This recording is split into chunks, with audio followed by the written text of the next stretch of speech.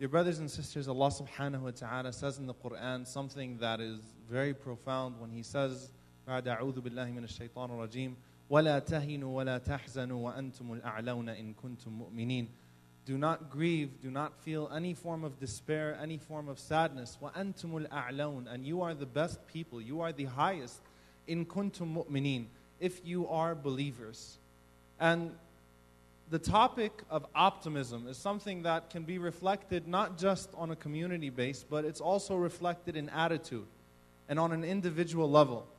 And it covers many different aspects. And subhanAllah, some of the, you know, if we look at every single aspect of our deen, we'll see that optimism is a critical aspect of it, all the way from dua, where Rasulullah sallallahu alayhi wasallam said, Id'u Allah wa antum muqinuna bil ijaba. Call upon Allah subhanahu wa ta'ala while you are confident in His answering your dua. So Rasulullah for example, forbade us from saying, or He told us, do not say, Allahumma in shi'ta Oh Allahumma in aratta.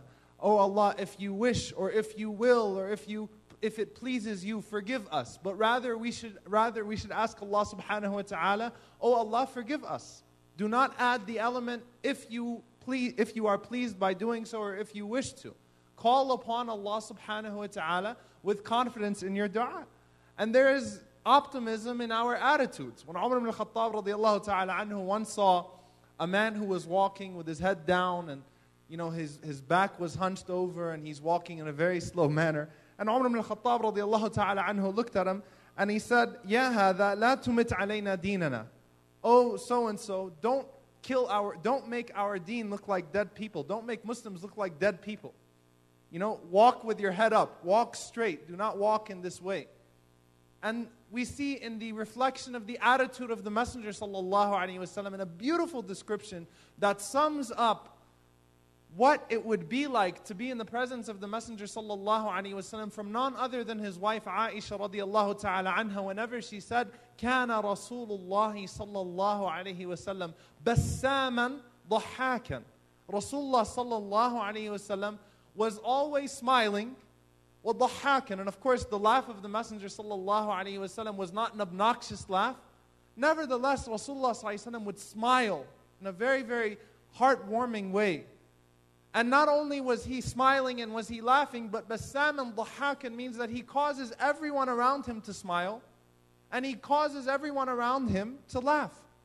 This is our Messenger sallallahu alaihi wasallam who without a doubt had the hardest task that any human being has ever had in mankind, bringing the entire world to Islam in a matter of 23 years with all that he suffered, with all of the humiliation, with all of the torture, with all of the tasks that he had, carrying the ambition of the entire ummah on his back, carrying the hardships and the struggles of, of the entire ummah on his back, Rasulullah still could smile.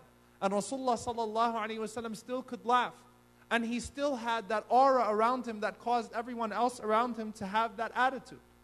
And then you have the optimism in the Messenger sallallahu alaihi wasallam, even with names. When Rasulullah was coming to Yathrib, and he changes the name to Taiba. When Rasulullah sallallahu sees a woman named Asiya, and he changes her name to Jamila, someone who was disobedient to someone who was beautiful. When Rasulullah saw the valley of Dalala and changed it to the valley of Hidayah. Subhanallah the valley of misguidance, he changes it to the valley of guidance. When Rasulullah changes someone's name from Abdul, Ka- Abdul Kaaba or Abdul something, Abdul Shams to Abdul Rahman or Abdullah, this was the optimism of Rasulullah sallallahu alaihi wasallam, and this demonstrates optimism and attitude. But what we're talking about tonight is a very, very specific area of optimism. And I want to first use a hadith that Imam al-Qayyim rahimahullah used in a very broad sense. Of course, it refers to something specific. But it's a very profound hadith where the Messenger sallallahu alaihi wasallam says, "Ma anzal Allahu min da illa ja'ala lahu dawa." Allah subhanahu wa ta'ala has never sent down a disease without sending its cure. And Imam al-Qayyim rahimahullah says from this hadith we take that Allah subhanahu wa ta'ala has never sent a problem without sending its solution.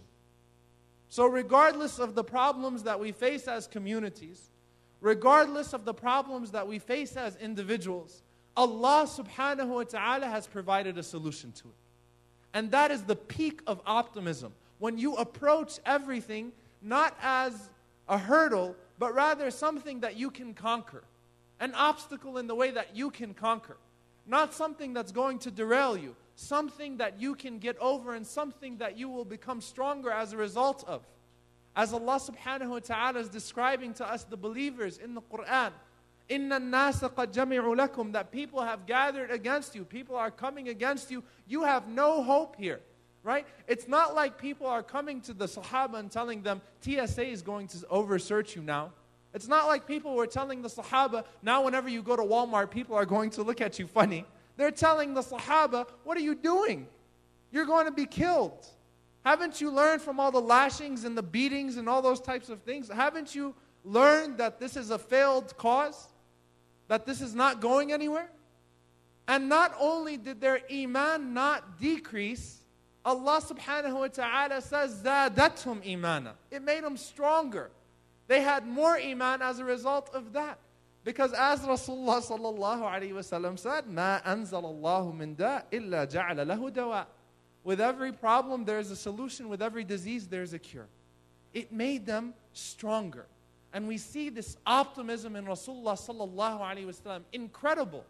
And even the hardest moments of his life, in Ta'if when Rasulullah sallallahu alayhi wasallam still has his blood fresh all over him. His wounds are still fresh. The stones are still in his shoes. He just suffered the worst moments of his life. And not only does he not make dua against the people like all of us would do out of vengeance, he makes dua for them. He still sees hope in them.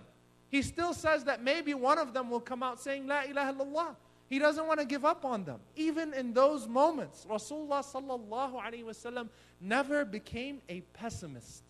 Never once do you see Rasulullah giving up or demonstrating any type of pessimism. Then when he's on the run sallallahu alaihi wasallam in the hijrah and he's caught by Suraqa ibn Malik radiallahu ta'ala anhu, a man who's coming to assassinate a fugitive. And Rasulullah sallallahu alayhi wasallam, not only does he give da'wah to Suraqa, the audacity of the Messenger sallallahu alayhi wasallam that he tells Suraqa that the bracelets of Kisra are going to be on these hands. This is a man sallallahu alayhi wasallam who's on the run, who's a fugitive at that moment, who's a marked man, who has no army to support him. But he has Allah subhanahu wa ta'ala. And even in those moments, Rasulullah sallallahu alaihi wasallam has, I guess the motto is the audacity of hope, right? Rasulullah sallallahu has the audacity to say to that man that you are going to wear the bracelets of the most powerful emperor in the world, fighting for the sake of Allah subhanahu wa ta'ala. The audacity of the Messenger sallallahu alaihi wasallam in Hudaybiyah, whenever he's being humiliated once again in the eyes of people and Rasulullah sallallahu alaihi wasallam is making that treaty. And Suhail ibn Amr does not even allow Rasulullah sallallahu wasallam to have written on that treaty Muhammad Rasulullah. He's not even allowed to have his title on there. And the Sahaba are becoming inflamed. They're becoming emotional. Umar ibn Khattab radiallahu anhu is rallying the Sahaba. Aren't we on the truth? Aren't they on falsehood? Why should we be submitting to this? Well, what does Abu Bakr radiallahu ta'ala anhu say later on? Abu Bakr radiallahu anhu, the only one, the only one who had the vision of Rasulullah sallallahu alaihi wasallam and the optimism of Rasulullah sallallahu alaihi wasallam in those moments. What does he say, radiallahu ta'ala anhu? That I was the one who saw what, Abu, what Rasulullah sallallahu alaihi wasallam said. Everyone else was trying to get us to refuse that treaty. Everyone else wanted to just go head first and fight. What does Abu Bakr radiallahu anhu say? قَصُرَتْ رَأْيَهُمْ They were short-sighted. They didn't have vision. And he said, Wallahi, I have seen Suhail ibn Amr, the same one who did not want the name of Rasulullah written on that treaty, the same one who was negotiating on behalf of the enemy.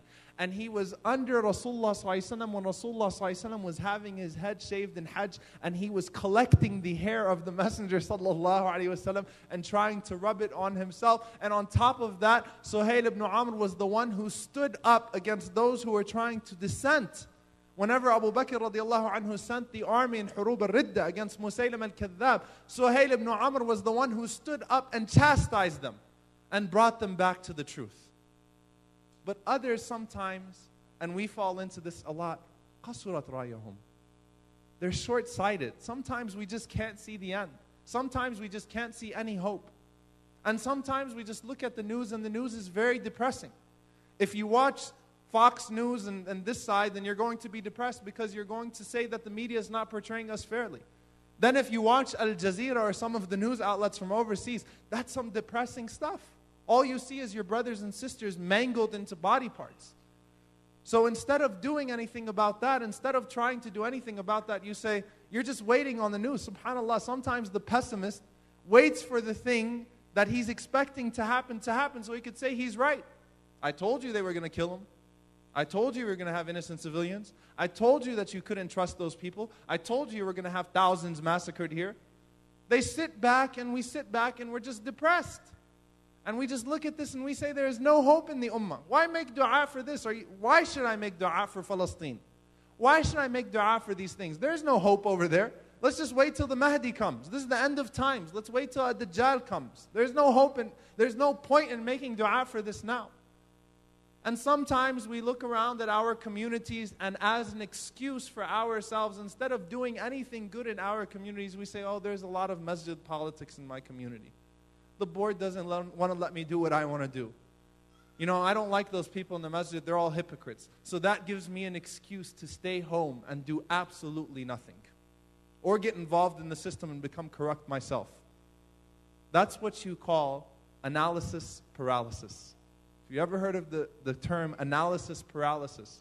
It's when you look around and you keep on saying, oh, this and oh, this and oh, that, and can you look at look over there and look over there and look over there and look over there, and there is no hope here and there is no hope here. It's called analysis paralysis, and Rasulullah said, "Man qala halaka an-nas fahuwa ahlakahum, wa man qala halaka an-nas." In another riwayah in Muslim, "Man qala halaka an-nas fahuwa ahlakuhum." Whoever says that people are hopeless is the most hopeless amongst them. And whoever said that people are hopeless is the one that's making them hopeless. He's depressing everyone else because whenever you're pessimistic, it rubs off. Your pessimism rubs, rubs off on everyone else. But Rasulullah sallallahu alaihi wasallam never had that. In Khandaq, whenever these people are surrounded, Rasulullah sallallahu and his companions, by a ditch, and they don't have food and water coming, and they are completely outnumbered. The tribes are coming from all over the place, and the Sahaba come across that stone that they can't break. And they call Rasulullah to come and to break that stone. And while Rasulullah breaks that stone, what does he first say? Allahu Akbar. What does he see first? The fall of the Persian Empire. and he hits it again, the fall of the Roman Empire. These people are just trying to survive. They're not thinking about the Persians and the Romans right now. But that's Rasulullah sallallahu alaihi wasallam, and that is the sunnah of optimism that rubbed off on everyone else in that regard. And no matter how bad we think it is right now, there were times and periods in this ummah where it was worse where things were worse. You think it's bad in Palestine now? Look at the time in the Crusades when the adhan was not called in Masjid al Aqsa for over 93 years. There was no adhan in that masjid. 93 years. And we sit around and we complain now. But that's why you have Salah ad-Din rahimahullah, someone who was not pessimistic, someone who didn't give up. You look at the life of an Imam Ibn Taymiyyah rahimahullah standing up as a scholar against the most ruthless army in the world, standing up against the Mongols. We're talking about Genghis Khan and those people, those people that would literally stack the skulls of Muslims.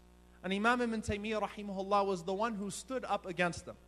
On top of that, Imam Ibn Taymiyyah rahimahullah did not become hopeless in other fields. He's a pioneer in Islamic law. He's a pioneer in almost every single field of Islamic, Islamic law and sciences. But Imam Ibn Taymiyyah rahimahullah was not the only scholar from his family. What makes Imam Ibn Taymiyyah rahimahullah different? He didn't lay down and die. He didn't roll over. And Imam Ibn Taymiyyah rahimahullah stood up for those things. SubhanAllah, something that's very amazing and beautiful if you look at Taqiyuddin ibn Taymiyyah, he was the son of another Ibn Taymiyyah. He was the son of Shamsuddin ibn Taymiyyah, who was the son of Majduddin ibn Taymiyyah. All of them are scholars. All of them are scholars. His father was a scholar, but his grandfather was a greater scholar. So they said about his father, he was lost between the sun and the moon. But you know what? Imam bin Taymiyyah rahimahullah had a brother. Many people don't know that. He had more than one brother. But Imam al-Dhahabi rahimahullah says, and think about this. There was a brother of Taqiyuddin ibn Taymiyyah by the name of Sharafuddin ibn Taymiyyah, and he was more knowledgeable than Taqiyuddin ibn Taymiyyah. But why is it that the Ibn Taymiyyah we know as Shaykh al-Islam, the one whose name is preserved in history, is the one that we look to? Because he was not just a alim, he was amil. He was working for this deen in every single aspect.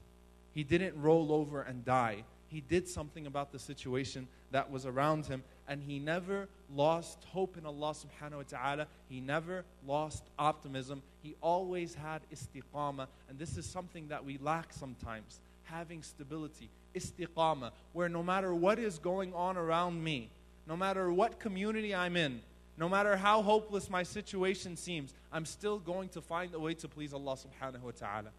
I'm still going to be active. If there is a bunch of negativity in my community, it's billatihi ahsan. I'm going to bring something better, but I'm never going to roll over and die. And Imam al-Qushayri rahimahullah, he describes this istiqama. And listen to these beautiful words. He, said, he says, al-istiqamatu darajatun biha kamalul umuri wa tamamuha. وبوجودها حصول الخيرات ونظامها ومن لم يكن مستقيما ضاع سعيه وخاب جهده istiqama is a level that with it you complete all of your affairs and you perfect them. And with its presence, husulul khayrat, you achieve good somehow, you find a way to do good, wanidamiha, and you start systemizing that good. And whoever does not have this gift, whoever does not have this trait of istiqama, ضاع سعيه وخاب جهده. He'll, he'll burn out eventually. He'll burn out.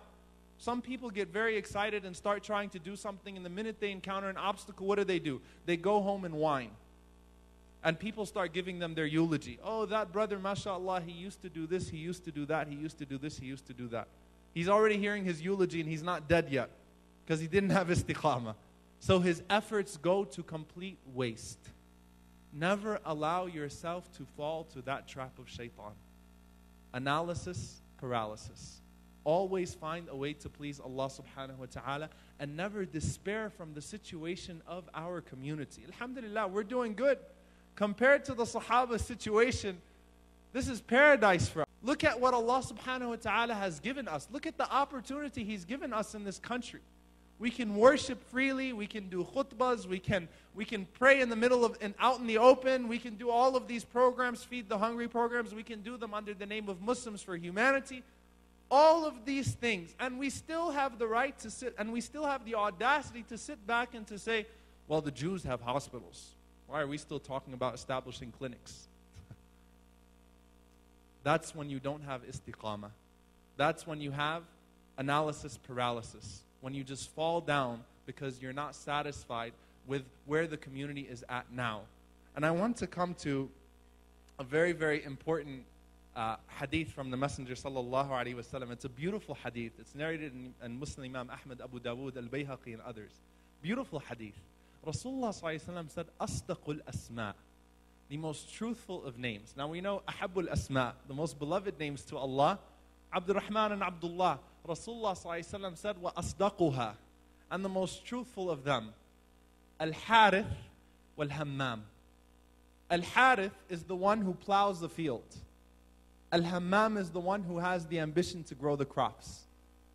Think about that. Asdaqul Asma, Al Harith wal Hammam. And I want you to think about what that means. There are some people that, regardless of their situation, they're not able to achieve much in their lives because of their circumstances in regards to doing Islamic work and so on and so forth. But they lay the groundwork they lay the groundwork. They don't stop doing what they're doing because of the circumstances. They lay the groundwork so that maybe in the future, people will be able to carry that further. They do something to set a precedent. And this is exactly what's being done now with ICNA Relief, the first Muslim organization which is way overdue, that's dedicating itself to domestic relief efforts, which is mustahab, if not fard, in zakat. Way overdue. It might not be perfect. It might not be flawless. It's definitely not flawless. But you know what? Maybe it'll set the precedent. Maybe it'll cause others to follow in those footsteps and take it a step further. Maybe ICNA Relief can be Al Harith. And we ask Allah subhanahu wa ta'ala to allow us to live to see Al Hammam, or the, or the plural of Al Hammam, those who have the ambition to carry out these dreams, those who have the ambition to take these things further. But you cannot lose hope and optimism from Allah subhanahu wa ta'ala. And you know, this is a quote from Harry Truman. I'm not going to take much longer. It's not a hadith. I have to make that clear. But he said, A pessimist is someone who makes difficulties of his opportunities, and an optimist is someone who makes his opp- opportunities of his difficulties. Whenever you see an obstacle, that's an opportunity. Whenever you see a difficulty, that's an opportunity.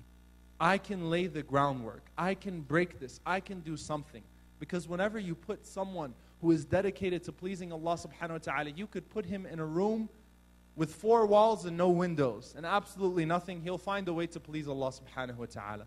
He will never stop trying to please Allah subhanahu wa ta'ala and think very, very deeply about this hadith.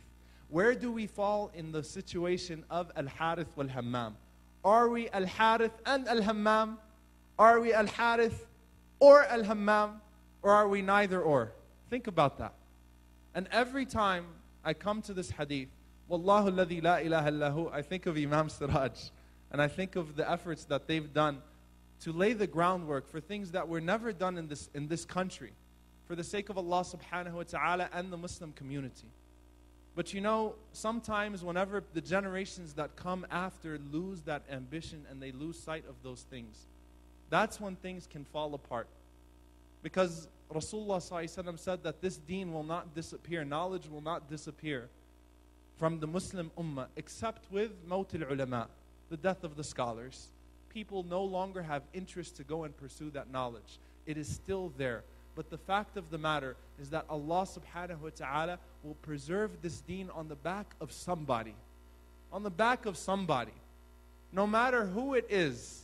وَإِن تَتَوَلَّوْا يَسْتَبْدَلْ قَوْمًا غَيْرَكُمْ In every single situation, if you turn away, Allah subhanahu wa ta'ala will find someone else. If it's not me and you, it'll be someone else. If we roll over and die and get depressed and have volunteer burnout and burnout from our Muslim communities and say the Muslim communities are hopeless here, there's too much politics and there's too much this and there's too much that, and oh, why are you doing all these things for non Muslims and why are you doing this and why are you doing that, and how come we don't have what other communities have? If you do that, Allah will find someone who, who's a little bit more you know, who's a little bit less short sighted, who has a little bit more vision, who can see a little bit further.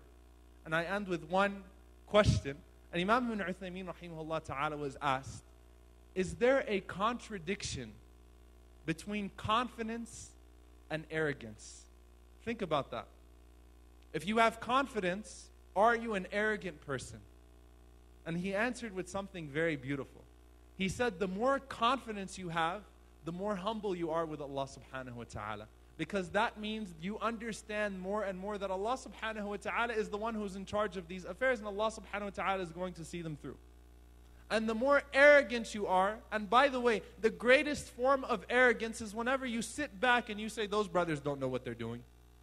They don't know what they're doing. They're wasting their time, they're wasting their efforts. Oh, he's not sincere, he has an agenda. That's the greatest form of arrogance when you start analyzing other people's hearts and you start criticizing other people's efforts. But you know what? No one will ever read in history refutations. No one's going to care about those who used to refute. No one's going to care about those who wrote books and made chat rooms and forums about what this sheikh did wrong and what this sheikh did wrong. It's not going to matter. Imam ibn Taymiyyah had plenty of those, but he's still Shaykhul Islam. It's arrogance whenever you sit back and you don't do anything Because that means you don't have confidence in Allah subhanahu wa ta'ala. And to have su'ah dhan in Allah is worse than having su'ah dhan in anyone else. To expect bad from Allah subhanahu wa ta'ala means that you are denying Allah subhanahu wa ta'ala. So we ask Allah subhanahu wa ta'ala to make us amongst those who can fall into the categories of al-harith wal-hammam and we ask Allah subhanahu wa ta'ala to allow us to have sincerity because without sincerity it all goes to waste. And we ask Allah subhanahu wa ta'ala not to make us amongst those who are arrogant but rather those who feel indebted to Allah subhanahu wa ta'ala and who are in constant praise of him with our words with our emotions with our hearts with our actions and who never forget that no matter how much we praise him and no matter how much we do for his sake it will never be enough اللهم امين جزاكم الله خير على حسن استماعكم اقول قولي هذا واستغفر الله لي ولكم سبحانك اللهم وبحمدك اشهد ان لا اله الا انت استغفرك واتوب اليك والسلام عليكم ورحمه الله وبركاته